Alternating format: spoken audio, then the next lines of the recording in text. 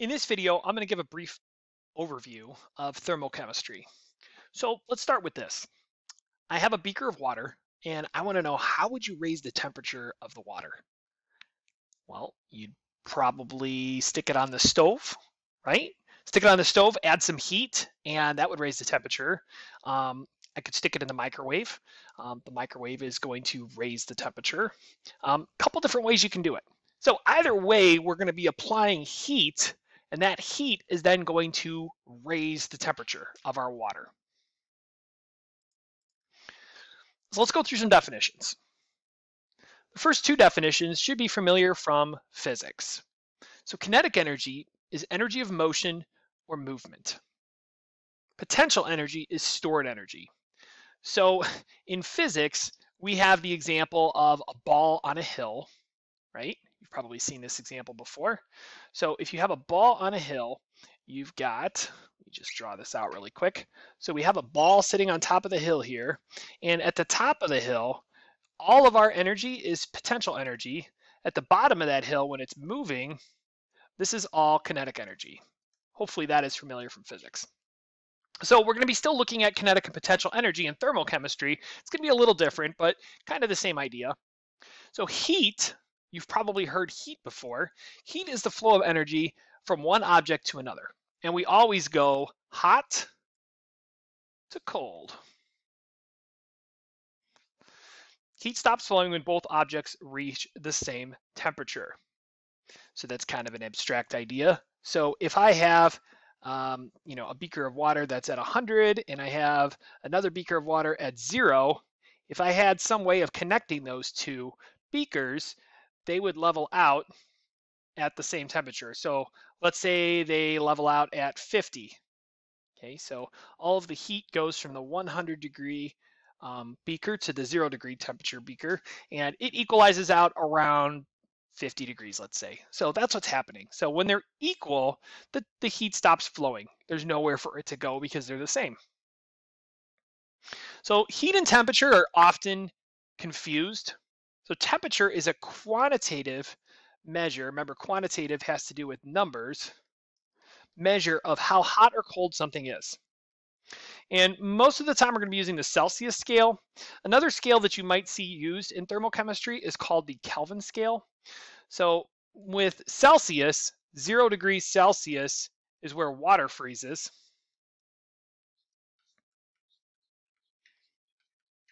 Um, zero Kelvin is absolute zero.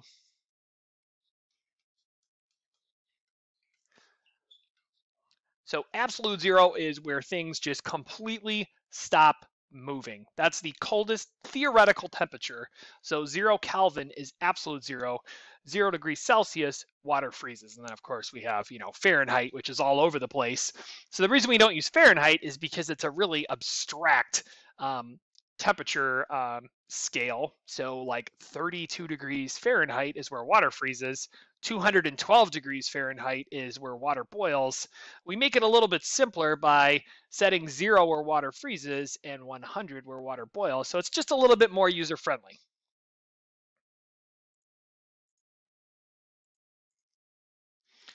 All right, so if someone were to say, oh, don't let the cold in. So you're in a nice cozy log cabin. It's freezing outside. Someone opens the door. And if they were to say, don't let the cold in, they would be wrong because the cold doesn't come in. Actually, the heat from our cabin is going to be going outside. Remember, our temperature, or I'm sorry, our heat energy goes from hot to cold. So the cold that you're feeling is actually the absence of heat. It's all the heat that's left, and that's what you're feeling. So the next time someone says, don't let the cold in, you can be like, well, that's not right. And you can explain why. All right, so we have a couple more definitions. So we talk about a system. A system is an object of interest. So a system can be anything. It could be a glass of water. It could be a building, anything. A system is just an object of interest. And the surroundings is everything outside of the system.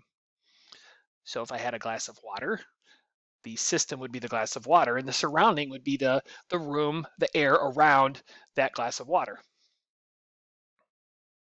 So exothermic is when heat exits the system. heat is uh, heat energy is released. Endothermic is where heat energy enters the system. So heat energy is absorbed. So an easy way to remember this, exo, exit, endo, enter.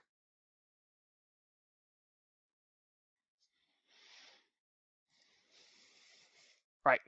So here is a equation that we're going to use frequently with thermochemistry. And that is Q, which is our energy in joules, is equal to mc delta T. So if we have a positive Q value, that means energy is flowing into the system.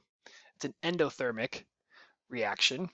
If we have a negative Q value, energy is flowing out of the system. It's going to be exothermic. The units that we use for energy are joules. The M stands for mass in this equation. All right, the M here stands for mass. And the units of mass are just going to be grams. All right, C stands for specific heat. The units for specific heat are joules over grams times degrees Celsius. And specific heat is the amount of heat energy needed to change the temperature of one gram of substance by one degree Celsius. Each substance has its own specific heat. So you've probably experienced this before. Um, different metals take different, amount, different amounts of heat to change the temperature. Inside computers, they have a heat sink, and the metal chosen for that heat sink is done because different metals have different properties and again, the amount of heat energy needed to range the temperature uh, depends on that specific heat value. So again, the physical properties of every substance is going to result in a different specific heat. So the smaller the specific heat, the quicker the substance heats up. The larger, the longer it's going to take. And finally, delta T is a change in temperature.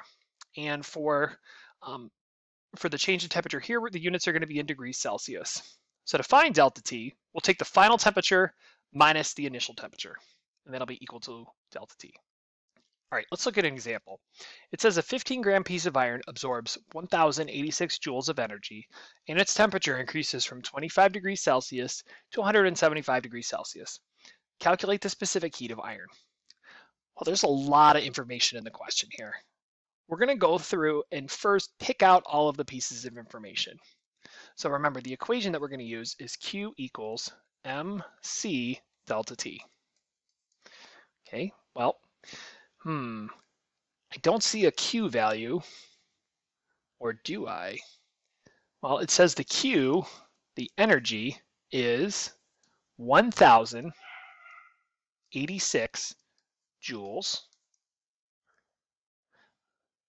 the mass of our piece of iron is 15 grams. Just kind of pulling this information right out of the question.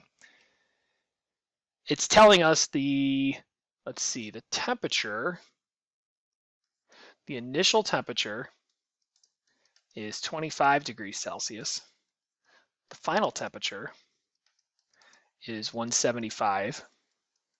And remember, delta T is equal to final temperature minus initial temperature. So 175 minus 25 equals 150 degrees Celsius. And the question is asking us to find, so we found our change in temperature, we're trying to find the specific heat. So we're trying to find the C value here. So let's just plug in what we've got. So we've got 1086, our mass is 15, we're trying to find C, and then delta T is 150. So to get C by itself, we're going to end up doing our 1086 divided by our 15 times the 150. And when we do that, we get 0.48. And our units for C are joules over grams times degrees Celsius.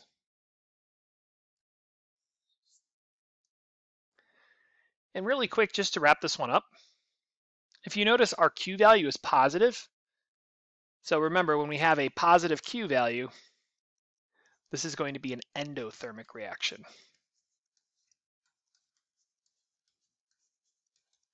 If it's endothermic, it's going to absorb energy.